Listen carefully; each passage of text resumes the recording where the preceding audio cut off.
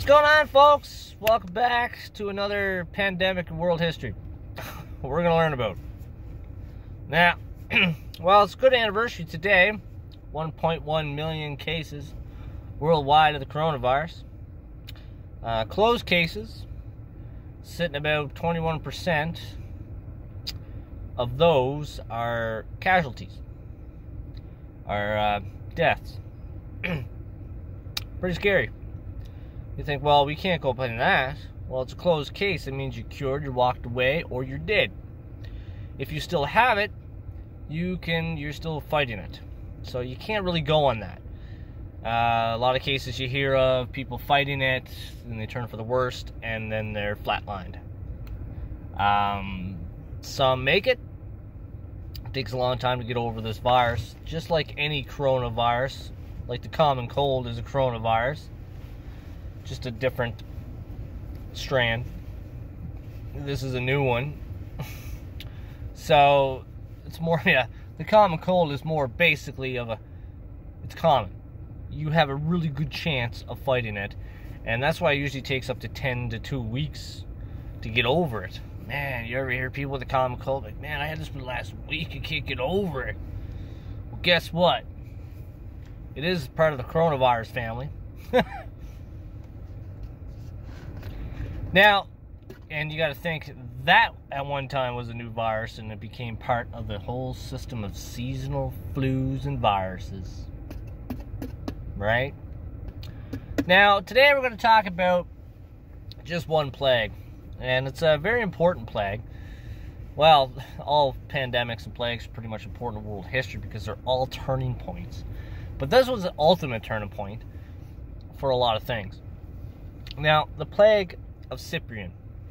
Now, it's named after the Bishop of Carthage, Cyprian. He also wrote a book during that time giving us pretty much a good documentation of what was happening during the pandemic up until he died in 55 255 now this plague lasts pretty much from 249 to 262 okay 62 63 AD this is all AD now now it originated around Easter time according to documents and it came from a good place called Ethiopia so it kind of spread through Ethiopia pretty quick now you got to think about where origins are very important. Okay, just keep in mind, but like, okay, Ethiopia, what could it be? Keep that in mind. You might figure it out. All right. Now, Cyprian, and at the time, Rome's emperor was Decius. Decius.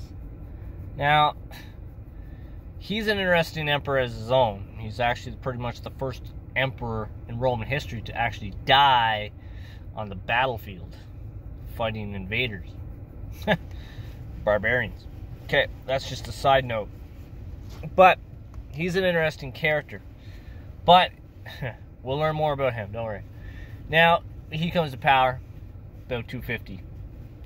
Now, so basically, the plague, this disease, this illness, came from Ethiopia, spread up into Egypt on the Nile. And we all know the Nile is a good trade route and a commercial route as much as of, eh, we're going to go on a cruise. This is an Egypt cruise. Yeah, let's go for a rip. We're going up the Nile. that would be a rip in Egypt. So, now this is the third century. Keep this in mind. If you're a Roman historian, you know the third century is a century of crises. It's known as the century of crises for the Roman Empire. And this is the middle of the century, and this is like the icing on the cake. Okay? Now, the disease spreads up through Egypt. Now, many, now, Egypt's a Roman province. Now, Rome's having enough on its plate at this time. So it spreads towards into the Middle East, and it finds it pretty much a year, year and a half later, it finds its way to Rome, the city of Rome. At the same time, it's spreading throughout the empire. Now, once it reaches Rome, Emperor Decius basically does an interesting thing. Okay? He starts putting some decrees out.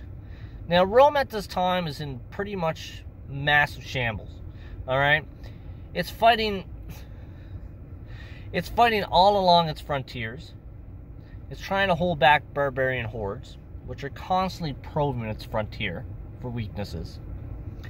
In Mesopotamia, they're still dealing with the Parthian Empire, and they're just attacking out the yin yang. Okay? Now, now this becomes very problematic to the Roman Empire. It becomes to the point where, well, persecution is the first thing that comes about. Now you got to remember, the Roman world at this time is full of pagans and Christians. These are pretty much the two religions. The Roman religion. Now the emperor decides to say, well, puts out a, out of a decree Persecution against all Christians caused this plague. Okay? Remember, the ancient world is based on superstition. There's no science to explain where this disease or this plague come from. It came from the heavens. It came from the gods. Okay? Keep that in mind.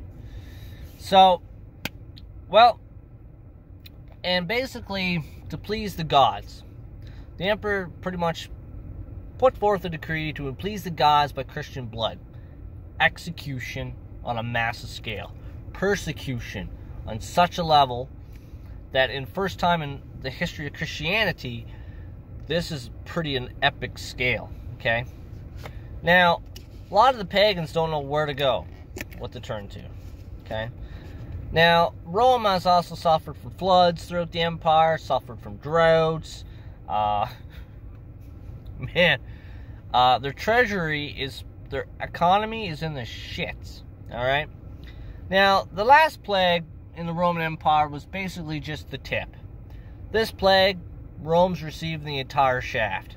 All right. They're getting the whole shebang. Now, now when he does issue this decree, he leaves everyone out besides the Jews. The Jews are left out. What? The Jews are left out. Why? Think about the politics, the geopolitics. They're at war with the Parthians on the eastern frontier. Where's the majority of Jewish people? Israel? Judea at the time? Palestine? Those provinces? Which pretty much border against the per- Parthian Empire. Now, if they started persecuting those, what do you think the Jews are naturally going to do? We're going to sponsor the Parthians. Hands down, 100%. You think, well, they were getting persecuted and ridiculed and used, abused by the Romans. But still under the protection of Rome, which was still, in their minds, good. So that's why the emperor decided, yeah, persecute the Christians. They don't really have a nation or a big, they're all over the place. All right, their churches are scattered throughout the eastern Mediterranean and even now into the western Mediterranean, throughout the Roman Empire. Now, taxes go up because they got to pay for the military, pretty much expenditures. So, a lot of causes a lot of revolts throughout the empire, especially in Gaul, present day France, uh, throughout the Iberian Peninsula, Spain, Portugal, present day. So the empire is in chaos. It's in shambles, and all of a sudden you start to throw a disease in it. Now, most historians agree that as the symptoms folded out by Cyprian, it's a form of Ebola. Ebola is not new. A lot of people think it is, but it kind of reminds a lot of the symptoms of Ebola. It's a form of it. Could have been a strain at the time. Only they had Tim's back then. I don't think it would have been that bad in the crisis in that in the third century for Rome. They opened the Tim's in Rome. now, here's the problem. You might see this a little bit. That's why pandemics are very feared and why the world's acting the way it is, because we probably have actually learned something. But in Rome itself, at the peak, 5,000 people a day were dying throughout the empire. That's just in Rome. That's just in Rome. That's not throughout the entire empire. They estimate about 20 to 25,000 people died a day throughout the empire during the in the peak. The bodies, Cyprian even said people were stacking the bodies in the streets and they were rotting and decaying. This is the way the pagans lived. Now, this is a huge bonus for Christianity. The Christians were getting persecuted on such a scale, especially by the emperor, as you can recall. The emperor was busy too for holding off barbarian hordes at the Roman frontiers. So, Christians, this is where good Christian mm, principle comes into effect. They were even dying of the illness. But the pagans weren't helping pagans. The Christians really gained a foothold in the rise of Christianity after this plague. And it really took off. They really showed the mark. Kill them with kindness? Well, no pun intended, but they were dead with kindness. So they were helping the ill, and they were also fulfilling proper burial for the dead of even pagans. And this showed a lot of support for Christianity. Now, the Christians that did die pretty much came into martyrdom. They became martyrs. They're not saints, okay? Well, Cyprian does become a pretty much a saint in the Catholic Church, but even in the Orthodox Church. Okay, so and his workings, and he was a devoted Christian. Now in Carthage, he was doing a lot of this, and even the time of being persecuted, Christians were still saying, "Yeah, we're being persecuted, but we're still going to do what we need to do." Not like Christians today. Christianity today is not like it used to be. It's a joke. Okay. In the face of danger, they still hold the ground. And they died. A lot of them died of this pandemic, during that pandemic. But after the pandemic, especially in the 270s and 280s, Christianity goes right on the fucking skyrocket. Pardon my French. So, it has its implications, right? Despite some pagans didn't care, they were just typical. They were just going out there and persecuting and killing killing Christians on the altar of the gods just to appease them, to uplift them from this curse, this plague, this plague that's killing them all. But that never happened. Not so much. Okay, we're just looking at a brief over this. I love to get deeper into this. We could spend days. Uh, this alone, this course is it's it's about a whole 350 page book on this pandemic. Okay? We're just going over the brief ones. Okay? Now, so this disease spreads and it pretty much havocs empire for 20 years. Now, the emperors die of the disease. So much political instability within the empire. There's rivals fighting over who's going to be on the throne. Emperors are pretty much short lived on the throne during this time. There's no leadership. None. None whatsoever. Um, so uh, basically, what happens too, previously from the plague before. So a lot of the people in the countryside flock to the cities. Okay.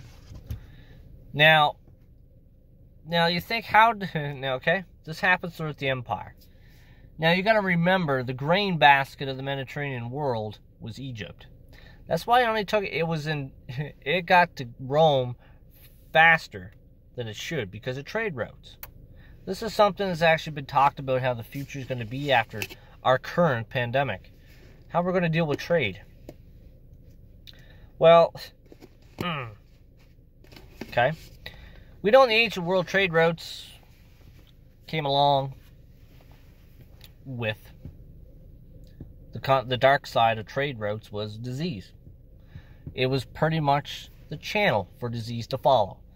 It was easy to spread that way. That's why I got to Rome pretty quick. A lot of grain came from Rome. Now, so keep that in mind. History's going to repeat itself. So, now if you remember the last plague at Rome, same thing almost happens. No. There's not much, nothing really shut down. Okay? Everything was still open. Because the, the entire empire was such in a chaotic state, in turmoil. There was no leadership, there was no order, there was no stability. It was utterly chaos. This actually contributes even further and another step towards the collapse of the Roman Empire, which is amazing to see in 467. But we'll get there eventually. Another 200 some years of suffering for the Roman people and the empire itself as an entity. Now, the military was in shambles. People were dying. There was not enough manpower. There was not enough money coming in into the treasury to even finance to secure the frontiers. All along the frontier provinces are living in hell. War and disease come at the same time. That's great. Today we're going to wake up. We might get raided by the Gauls. Great. Here comes the Visigoths. That's just great. Here comes the Parthians. That's just great. And the next day, mate, well, we survived that, but the next day you get up, you're sick. Usually only took a couple of days for this sickness to kill you. And uh, I would love to. I don't have the book. I had the book, but not with me. And what Cyprian says, how he describes it, it's pretty brutal. Fever, diarrhea, eyes are bleeding from the. This is why they believe it was Ebola. This is one of the symptoms. Internal hemorrhaging. Eyes are bleeding. And you can see why he always said this is the end times. It's the end of the world. We always say that every pandemic. It's the end of the world. But there will be a pandemic that will be the end of the world. Possibly. But then again, when we talk about bubonic or Black Death, then you're going to be like, hmm, I can, I can see that too. Not going to wipe us out entirely, but it's going to kill a lot of us human beings. So, lo and behold, so here's more consequences of this pandemic. The Cyprian plague also put all the flush back to flushing the people into the cities. Now, this really hurt the agricultural industry to the point of zero production in farming. There's no production of food. The, the farmers are dead. There's no one to harvest the fields or to look after them. There's a lot of cases where a lot of fields turn back into swamp. All these people are flooding to the cities, looking for help, appeasement, security. But that was the worst thing they could do, especially when you got 5,000 people dying in Rome a day. These bodies are stacking up. You can imagine the stench. And a lot of scholars at the time that wrote, uh, the stench is unbearable. You can't imagine. There's bodies in the streets that have been there for weeks. Okay? so the dead were. And the Christians are trying to do the rightful thing by burying the dead and giving them their pagan rights, at the same time helping them to ease, right? To get into the afterlife in the sense of the pagans, right? And it kind of converted a lot of people to Christianity because of it. Now, after everything's said and done, a massive drought, well, famine happens because there's food production is so low. There's there's farms, but no one to farm them. The military's in shambles. Keep that in mind. All these men are dying. If they're not dying by the sword, they're dying by the illness. And Rome goes into a famine. Now you really experience this in the first couple of years of the plague because grain coming from Egypt, its economic value shrinks. There's not as many shipments because in Egypt, a lot of people are dead. They're not really farming anymore if they're dead. They became fertilizer. Not even them because you can't bury them. right? So, this becomes a very dark days of the Roman Empire. And the third century is really dark for the Romans and for the entire Mediterranean world. And this is really teeter point and tipping over. The whole thing's tipping over. The whole empire is going to collapse. Its frontiers are unfolding with more and more within it. the internal bad enough they had external problems coming into the empire they couldn't manage. I like to compare an empire to the human body. Okay, this is just a side note. This is how I look at the world. Get a little bit of look how I look at things. But an empire is the same thing as your body. There's external forces and internal forces.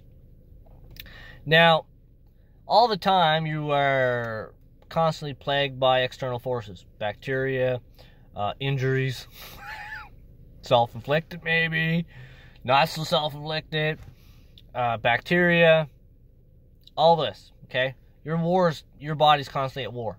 Okay, right now your body is fighting something in your body. You don't feel the effects because pff, it already knows it. Uh, your body knows the art of war. First rule of thumb: know thy enemy, and I know you already. Shit. Don't think so. You're not going any farther. And then stop them in your lungs or anything like that? Digestive tract, or if you get a cut, right? So it's just like an empire, okay? And it's an entity, right? It's a polity. Your body is almost like an entity or polity. Now, after a while, if you have a lot of stress, which is internal, it affects your internal immune system. You know, you don't eat much, you don't got much nutrition, it affects you. Why do you get sick? Eternal forces have a way to get in real easy. Oh, he's weak. Go, go, go, go. Same as the Huns going to the Roman Empire. Time to attack. They're weak on the inside. Start probing. Go. No, we're good. Let's keep going. It's the same thing. This is how I look a lot of things. You can compare anything to anything. It's the same thing. So pretty much your econ yeah, you're pretty much your uh, your manpower is your immune system.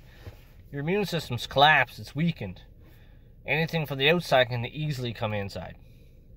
And now, if it's a new enemy, we're going to look at a few episodes in history where it's a new enemy and your body's and it's the same thing as the coronavirus. It's a new enemy, never recognized it before. It's a different way of uh, everything. So your body's like, huh? That's why, that's why it gets defeated. It's like the Russians and the Germans in the first, Second World War. It took a while for the Russians to realize German tactics, and and almost came close to oblivion, almost flatlined the entire Soviet Union. But then they realized, ah, we're starting to get it. We're using their own tactics back. Push them back, and they won. Right? Sum it up in a nutshell.